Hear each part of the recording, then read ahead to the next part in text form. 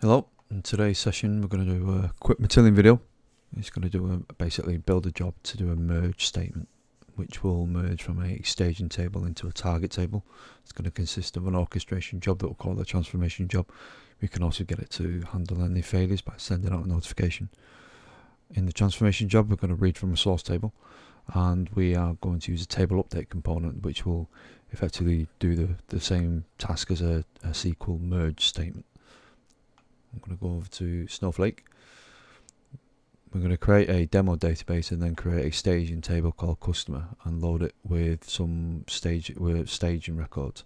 Then we'll load a history table, which is the target table, which won't contain as many records. Um, so we can insert insert some new records and fix and well update any uh, records that already exist. So I'm just going to show you the table for now. So start off with a staging table, we're going to end up with these uh, set of records. In the history table, we're going to have some of them, but not all of them. And note that Dave, we're going to have a, a misspelling of Dave. We're going to have Dave, Davey, um, and he's going to be corrected to Dave. Right. So we're going to start off with uh, creating the tables in Snowflake. Um, first and foremost, we're going to create demo database. Then we're going to create the demo schema and then we'll create the staging table and then we'll insert some records into the staging table.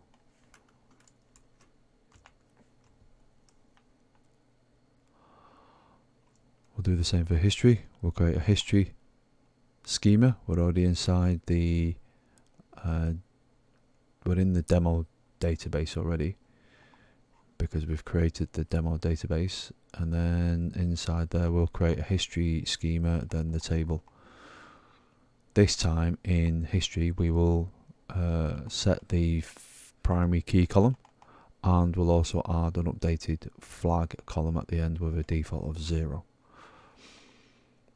Let's do that. Right, so let's go and read from the staging table.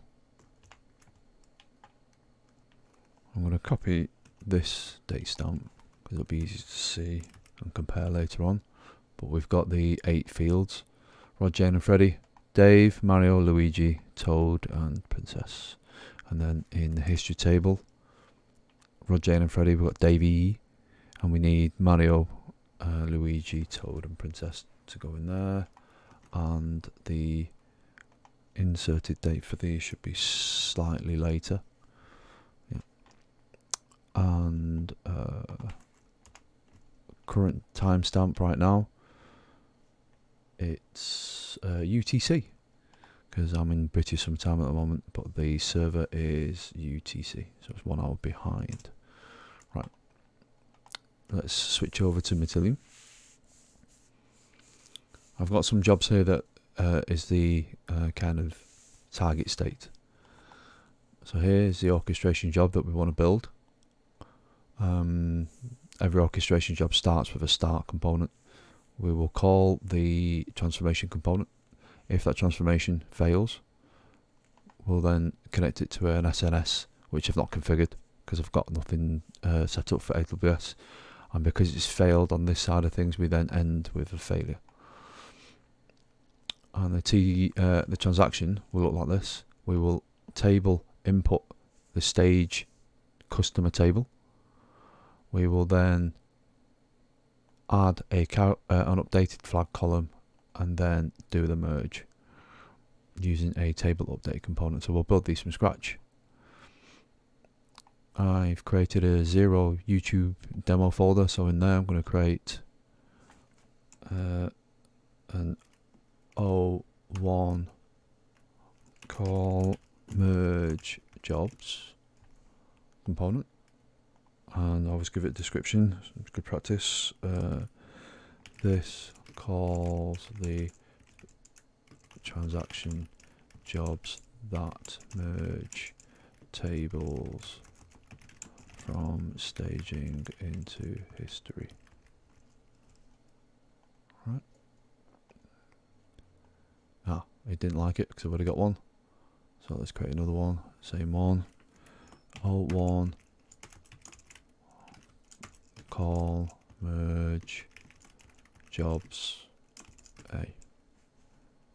Right, and this calls transformation jobs to merge tables from staging to history.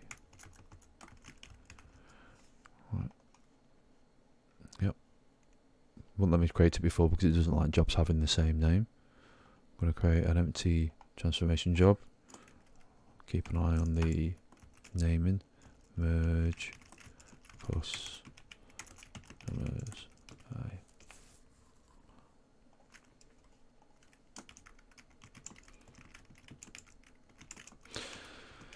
This measures the customer table. Right.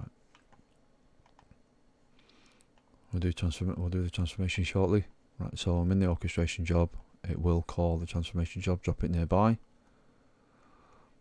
Um, click on that. Because I've dragged it from the left, it knows which job it is. So we already set the transformation job there.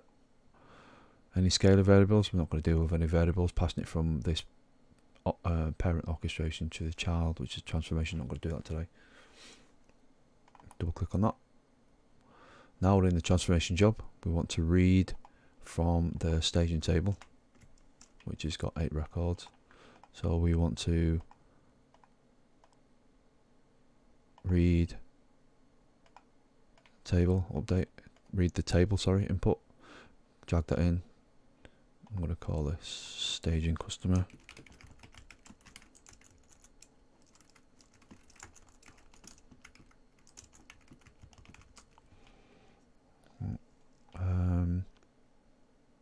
oh, I want to show you the uh, the environment that I've set up.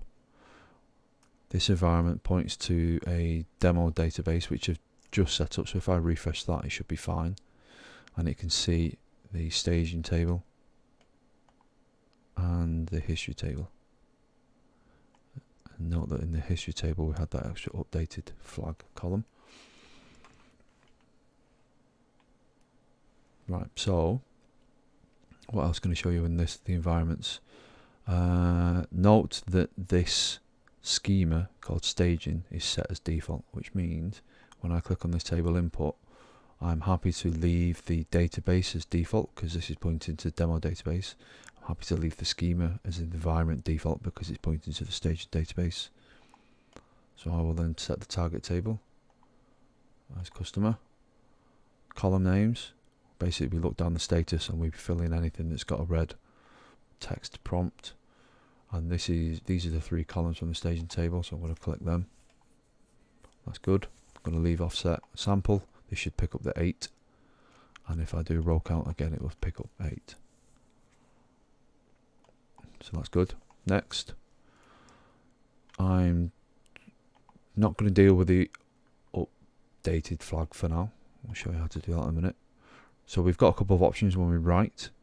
So if I put table output and table update. On the table output we're going to read the help.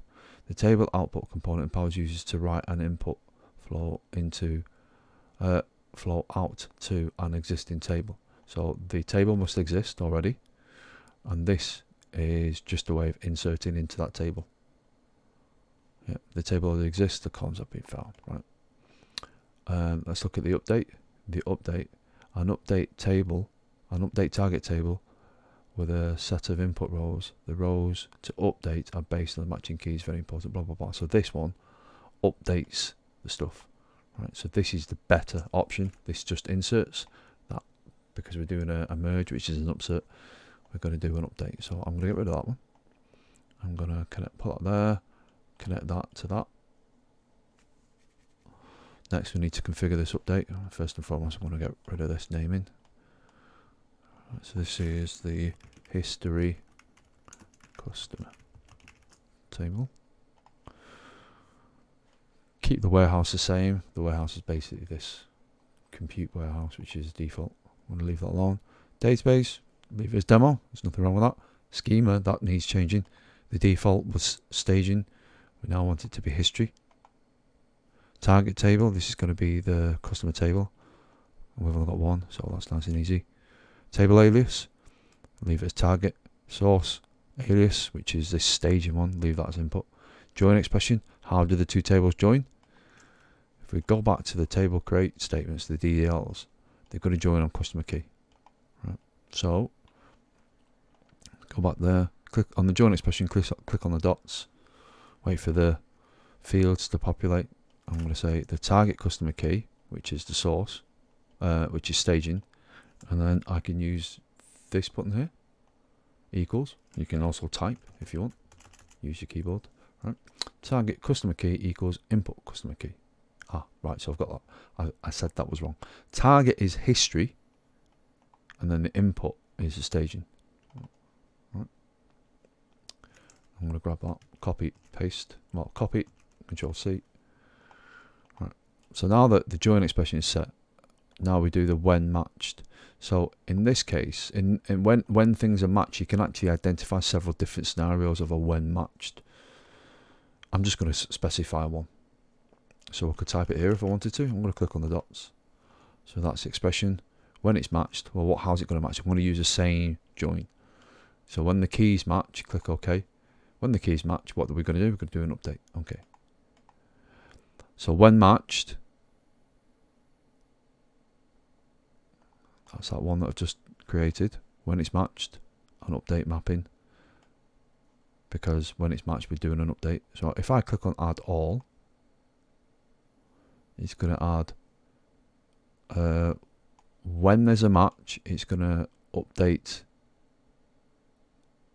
the key with the key the name with the new name it's going to update the inserted flag. And the update flag I'm not going to do anything with that. And I'm, I've so I've clicked on it and removed it. Is that going to be okay? That's fine. Um, because a field because a record already exists we therefore don't need to update the customer key. So I'm going to get rid of that as well. And that's still okay. So as it stands we're dealing with the scenario where on the when matched side of things we're only dealing with the updates. So let's go back to history. Let's re-select from history. It's got four rows. And Dave is spelt incorrectly. So if I right click and execute this, this will run. Let's have a look at that. How do we look at this? We click on in the task panel, we can expand, we can expand it and read it in there, or you can click on the little arrow on the right and it'll generate a new tab to show the full details of the transaction for the job. So we've got an auto orchestration job which calls merge job and then it calls T1 merge job and it does some stuff like that. And it's done something with four records and say, says the same thing there. So let's look at this. So if I now run this history, select star from history again, note that the time previously was 29, 21, 29, and now it's gone down to 21, 28. So it's updated in history it's updated all the records, it's updated the name, and it's updated the insert date from staging, and it's updated Dave. So that was the upsert side of things. However, we need uh, Mario, Luigi, Toad, and Princess. How do you do that? Let me reset all these tables.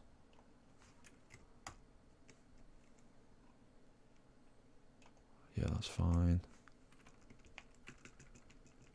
And let's look at these tables again.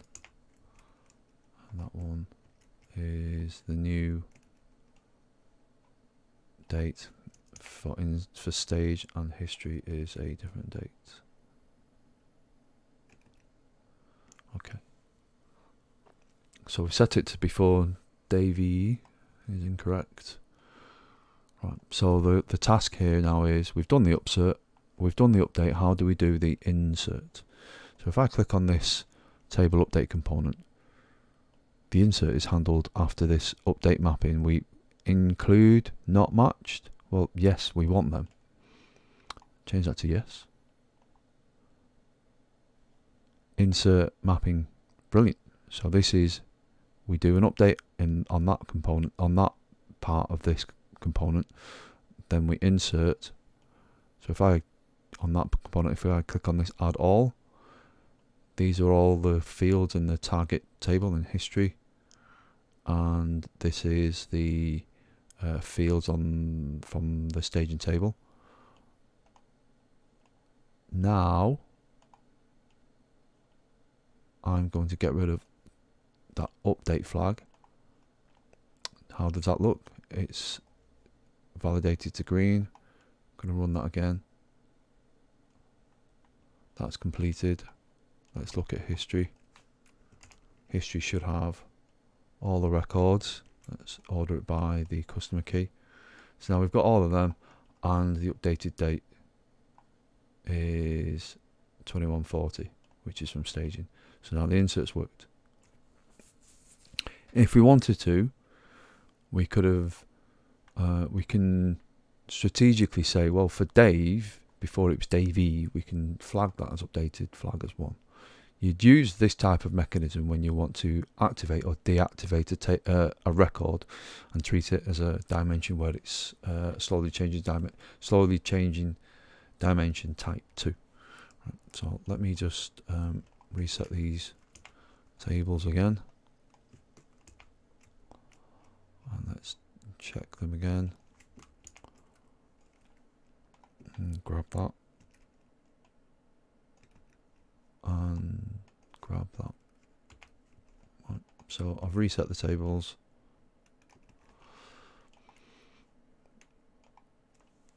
So now we're talking about how do we handle it when we want to update um, a record and mark something.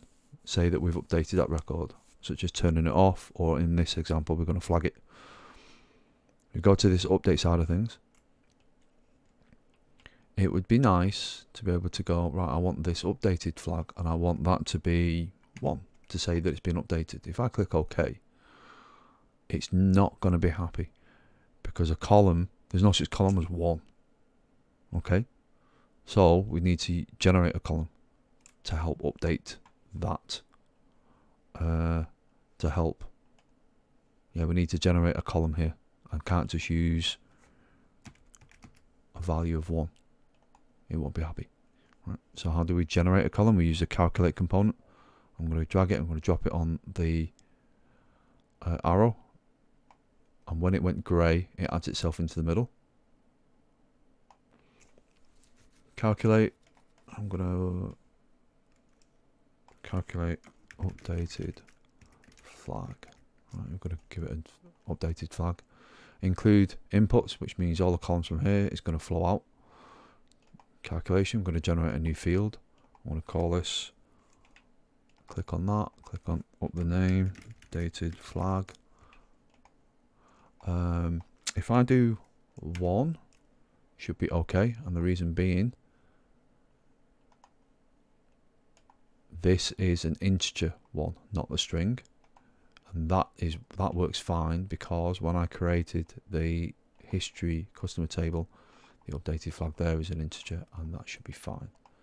Let's move these along. Right, so the table upsert is still moaning, but that's fine because now we're going to fix that end column. And there we've got the updated flag.